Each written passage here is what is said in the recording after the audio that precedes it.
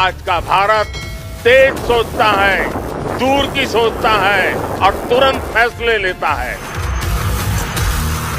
बेंगलुरु का आसमान आज इस बात की गवाही दे रहा है कि नई ऊंचाई, नए भारत की सच्चाई है। आज देश नई ऊंचाइयों को छू भी रहा है और उन्हें पार भी कर रहा है